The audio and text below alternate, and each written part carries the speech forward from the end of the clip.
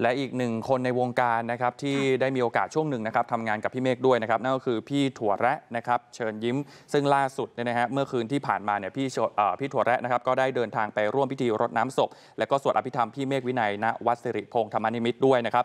โดยพี่ถั่วแระนะครับก็ได้เล่าเอ่อเหมือนกันนะครับว่า ตัวเองเนี่ยก็ได้มีโอกาสร่วมงานนะครับกับพี่เมฆแล้วก็จริง ๆ แล้วช่วงที่พี่เมฆป่วยเนี่ยนะครับพี่ถั่วแระก็พี่เมฆเนี่ยก็ได้มีโอกาสรับการรักษาจากอาจารย์เอกฝ่ามือพลังจิต ซึ่งอาจารย์เอกฝ่ามือพลังจิตนะครับก็เป็นหนึ่งในอาจารย์ของพี่ถั่วแระด้วยเหมือนกันพี่ถั่วแระก็เป็นลูกศิษย์แล้วก็มีช่วงหนึ่งที่อาจารย์เอกก็บอกว่าให้พี่ถั่วแระเนี่ยไปเจอพี่เมฆหน่อยนะครับก็ได้มีโอกาสเจอกันช่วงหนึ่งอยู่เหมือนกันนะครับที่จังหวัดลำพูนเราไปฟังพี่ถั่วแระเล่ากันนิดนึงครับก็เลยไปคุยกันอะไรกันก็ แกก็บอกผมอดทนมานานแล้ว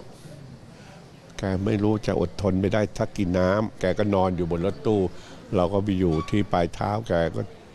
ได้รูปได้คำกับพี่พี่สู้นะ คือเห็นสภาพร่างกายแกแล้วผมก็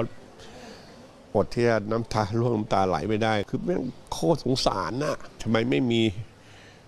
พี่หมอ ทางวิทยาศาสตร์ อะไรต่ออะไรมันรักษาไม่ได้เลยเหรอก็ไม่มีอะไรพูดมากบอกพี่ผมมา ผมเห็นพี่ครั้งนั้น ก็นานพอสมควรก็นึกว่าพี่จะจะอยู่กับผมนะ แต่วันนี้พี่ก็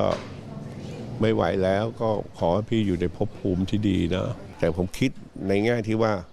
เฮ้ย อาจารย์ไพศาลเหมือนจะรู้อะไร เหมือนอะไรยังไงก็แล้วแต่ ไปแก้กรรมซะ แล้วกรรมมันจะไม่ติดตัวลูกนะ นี่มัน มันได้ไปในภพใช่ เขาอาจจะไปอยู่ในภพภูมิที่ดีก็ได้